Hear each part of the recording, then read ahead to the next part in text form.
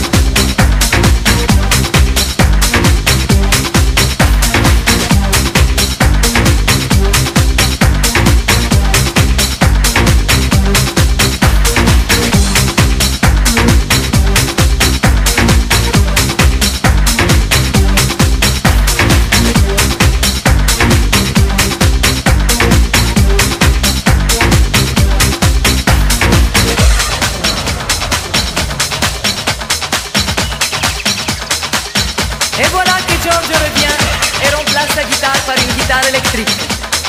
Sandro ne joue plus de la mandoline, il joue les synthétiseurs et la tumba. Tumba, tumba, tumba, tumba, tumba, tumba, tumba, tumba, tumba, tumba.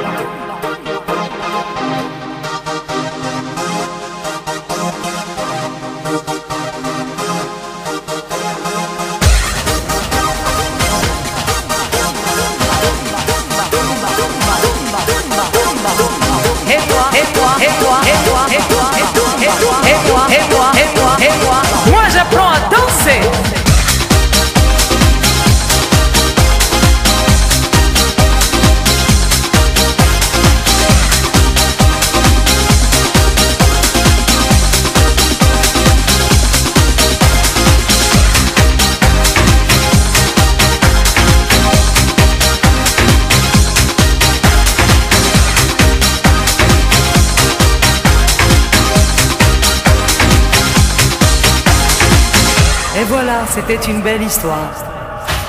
Mais nous, on a envie d'y croire. Gigi est toujours vivant et il nous attend.